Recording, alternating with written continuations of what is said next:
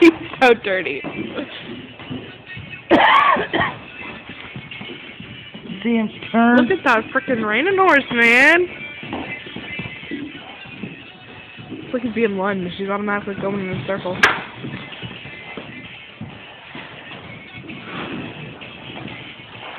He feels good. Yeah, he does. It's been in two weeks, honey. Hi, big boy. Pretty boy. He knows what that means.